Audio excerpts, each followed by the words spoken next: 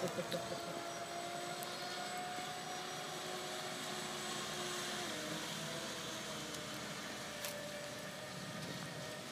to get it real close.